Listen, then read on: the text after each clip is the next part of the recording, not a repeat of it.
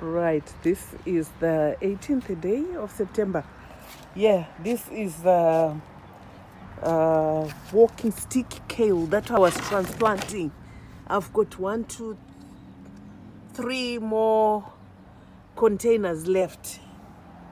So I've transplanted each plant in its own container. So they, it's looking good. They're looking good. I was just chasing off some butterflies here. But anyway, it's looking good. It's looking good. Um, I'll cover it once I've finished.